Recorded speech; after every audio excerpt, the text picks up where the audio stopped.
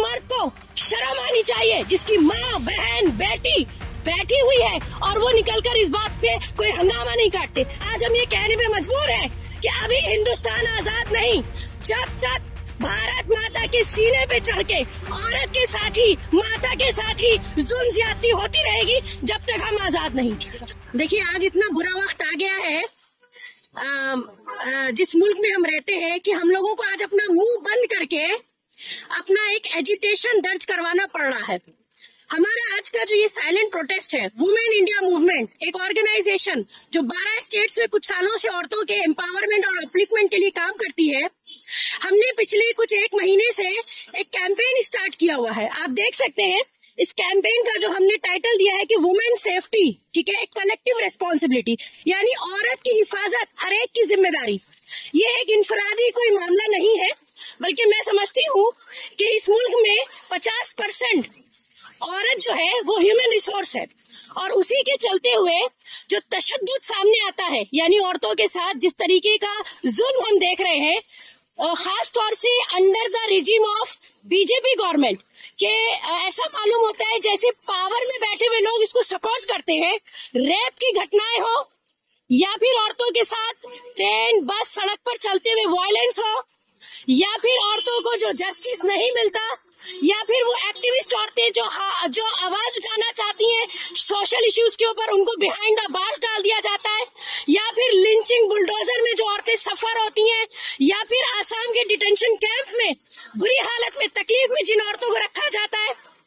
ऐसे में हमने अपनी ज़िम्मेदारी समझी, हमने दो अक्टूबर को एक कैंपेन स्टार्ट किया, क्योंकि गांधी जयंती के दिन, ये गांधी जी का एक स्टेटमेंट था, ये कोटेशन था कि जिस दिन औरत कश्मीर से कन्याकुमारी तक मुल्क में अकेले सफ़र कर लेगी, हम उस दिन समझेंगे कि ये मुल्क आज़ाद है।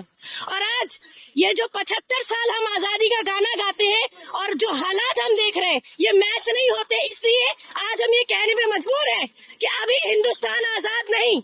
जब तक भारत माता के सीने पे चढ़ के, औरत के साथ ही, माता के साथ ही जुल्म ज्यादती होती रहेगी जब तक हम आज़ाद नहीं।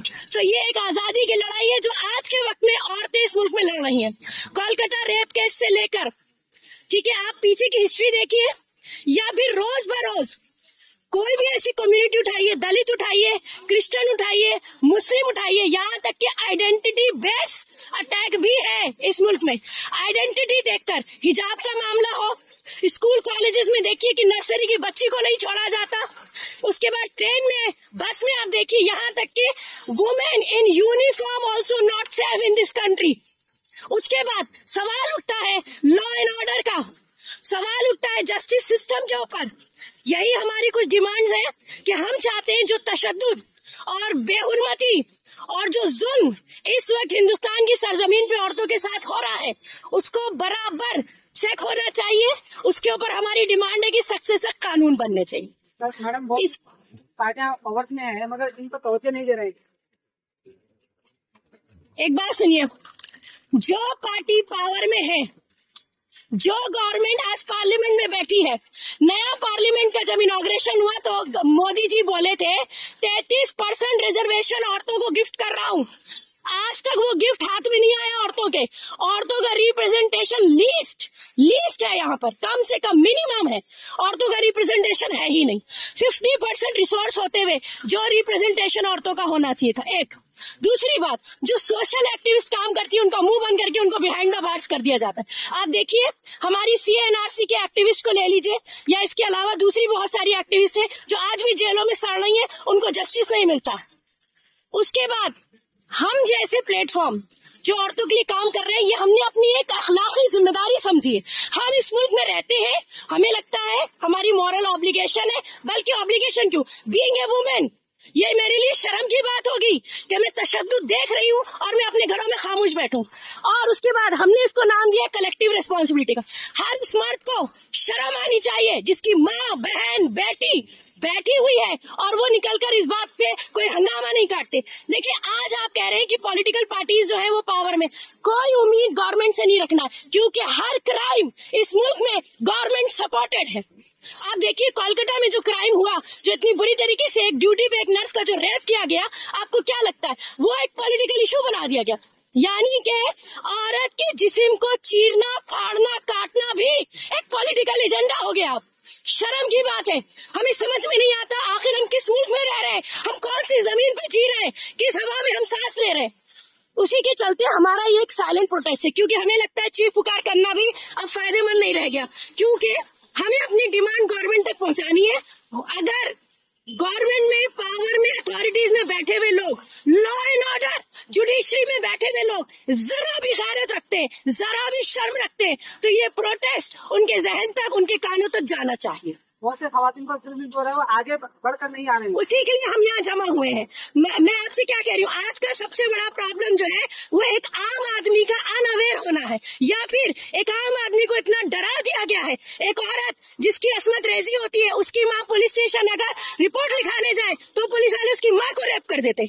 एक रेप विक्टिम जो बेल पे छूट कर आता है वो आके वापस रेप कर देता है। ये इस मुल्क की कंडीशन हो गई है। एक साल में पैंतीस हज़ार छत्तीस हज़ार रिकॉर्ड आंकड़े हैं। और जो रिकॉर्ड नहीं होते, उनका कोई हिसाब नहीं है।